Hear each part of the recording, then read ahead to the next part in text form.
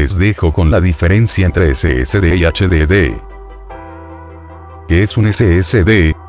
SSD Solid State Drive la razón por la cual es llamado, eso se debe a que no tienen ningún parte móvil similar a una memoria USB. En términos más simples, puedes llamar SSD a un tipo de USB más sofisticado y muy grande. Como una memoria, la información en un SSD es guardada en forma de microchips. Además, en vez de acceder a los datos a través de un brazo mecánico, los SSD son capaces de accederlos directamente desde el microchip.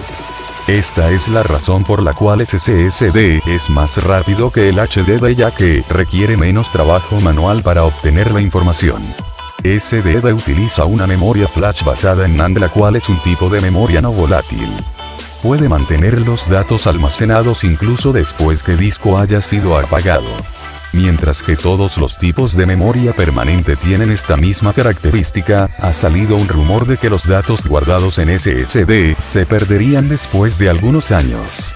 Sin embargo, no es verdad los SSD disponibles hoy en día pueden mantener los datos guardados por hasta 200 años. Un SSD tiene un procesador el cual funciona como un controlador es utilizado para realizar varias operaciones las cuales están relacionadas a la lectura y escritura de datos. Entre más rápido es el controlador más rápido es la lectura y escritura de datos. ¿Qué es un HDD?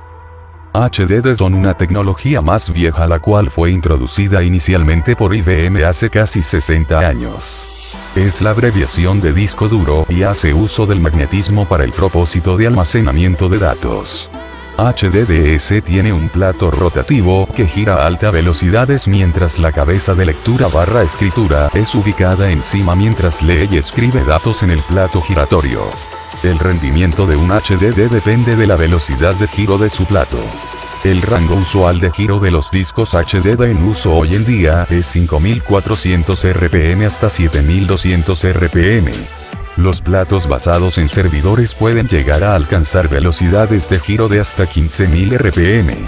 La cosa que hace HDD más adecuado para el almacenamiento de datos es que son extremadamente baratos. Pueden almacenar cantidades de datos y no te costará mucho tampoco. El costo barra GB de un HDD es más bajo que ese del SSD. Por ejemplo, WD Black, un HDD, tiene una capacidad de almacenamiento de un TB y está disponible por 69 dólares, mientras que el Samsung 850 Evo, un SSD teniendo la capacidad de un TB, puede costarte hasta 319 dólares. Entonces, si el almacenamiento barato es lo que estás buscando entonces HDDS son la mejor opción disponible. No existe diferencia en lo cosmético de HDD y SSD. Un disco duro de 2, 5 pulgadas es típicamente utilizado para laptops mientras que el disco duro 3, 5 pulgadas es adecuado para ordenadores.